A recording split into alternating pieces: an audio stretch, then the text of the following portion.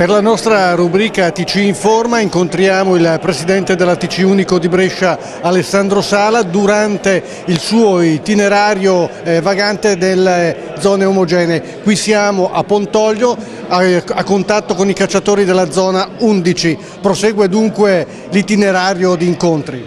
Sì, è necessario eh, incontrare i cacciatori nelle zone omogenee. Qui siamo a Pontoglio, lasciatemi dire che siamo nella casa degli Alpini, ma nella casa di Tommaso Bertoli Tarzan, il mitico Tarzan, famoso eh, cacciatore, grande cacciatore Beccaccini, grande amico, eh, un uomo straordinario, un uomo che ha fatto tanto dal bene, un alpino, un meraviglio di uomo. Sono orgoglioso di essere qui nella sede degli Alpini di Pontoglio per celebrare proprio e comunque sempre Tommaso Tarzan. Ripeto, ci stiamo muovendo, siamo quasi arrivati alla fine, ci manca la zona di Montichiari e quella di Lonato dopo quella di questa sera. Devo dire che sono soddisfatto, sono soddisfatto dell'accoglienza che ricevo, sono soddisfatto del dialogo che si intraprende con i presidenti e con i delegati di queste zone. La situazione è comunque difficile perché si viene da un commissariamento, non mi perdo d'animo ma avrei tutte le, le condizioni per perdermi d'animo, devo dire, perché eh, l'impegno è faticoso. L'impegno è faticoso, ma soprattutto si viene da un commissariamento e quindi eh, torno a ripetere che da, dal tecnico faunistico ai fagiani riproduttori da liberare, soprattutto al discorso eh, del pagamento dei bollettini e io continuo a ripetere che ho avuto da quando sono qui 11 giorni, 11 giorni solo ed esclusivamente per mandare i bollettini in posta. La posta li doveva spedire e una volta spediti i bollettini eh, arrivavano al cacciatore il quale doveva versare entro il 31 marzo. Mi sembra un'utopia. Ecco perché avevo pensato di prorogare fino a, alla fine di aprile, pur sapendo che la legge dice 31 marzo, io credo che si debba utilizzare il buon senso perché, torno a ripetere, veniamo da un commissariamento. Per il resto in ogni zona omogenea parliamo di quelle famose due settimane dopo l'apertura generale fino alla fine di settembre. Quindi capire, tre giorni? Per capire un po' la questione dei tre giorni.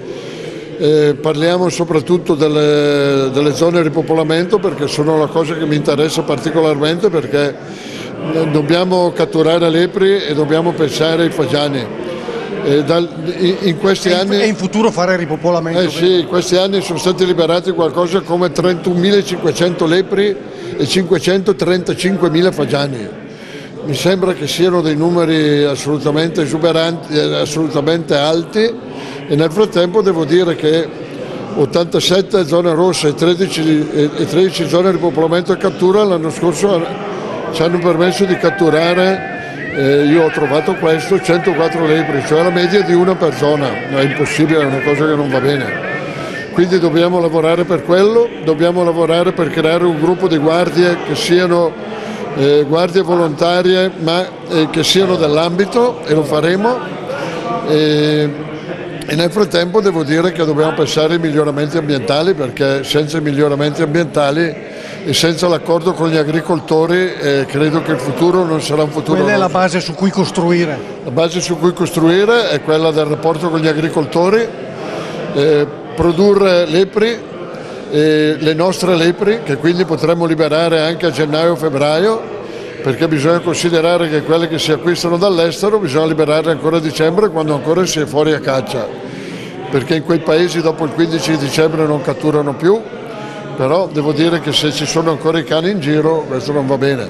Ci a proposito di cani devo dire che cani da caccia e non da caccia ce ne sono dappertutto e voi pensate adesso al periodo di riproduzione dei fagiani e delle lepri e questi animali vengono comunque disturbati. Ecco la necessità di avere anche una vigilanza nostra che possa intervenire in maniera diversa, non perché non lo faccia la Polizia Provinciale, anzi il mio rapporto con con Saleri e con l'istituzione provincia, oggi regione, oggi UTR è ottimo e credo che noi dobbiamo lavorare insieme, associazioni venatorie, associazioni agricole, istituzioni tutte, UTR di Brescia, Polizia Provinciale e Regione Lombardia Milano Ecco, a proposito di Regione Lombardia c'è stato un incontro con l'assessore Rolfi per questa famosa app sul telefono, ha incontrato i presidenti degli ATC.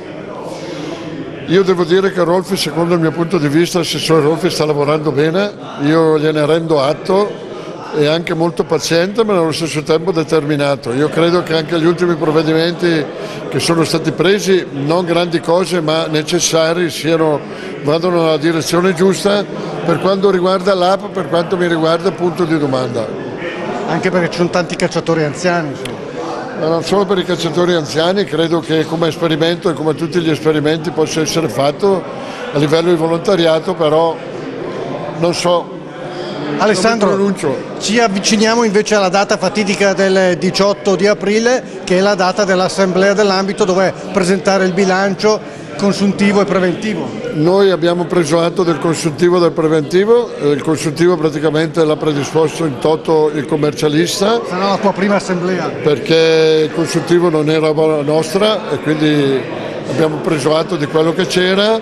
Sicuramente abbiamo tolto tutti i residui che erano lì da anni e anni e li abbiamo messi nel preventivo, anche perché non si possono lasciare lì anni e anni nel bilancio di previsione dal quale abbiamo preso atto a livello di, eh, di comitato di gestione, devo dire che abbiamo puntato molto su questo discorso, miglioramenti ambientali, eh, zone ripopolamento e cattura, soprattutto quelle superiori ai 300 ettari, zone rosse superiori ai 300 ettari e vigilanza. Puntiamo molto lì perché il mio obiettivo non può essere quello di chiudere le buche sotto i piedi, devo avere un obiettivo davanti e l'obiettivo è quello di produrre selvaggina sia lepri sia fagiani e mandare a caccia la gente. Lo scopo dell'ambito è mandare le persone a caccia.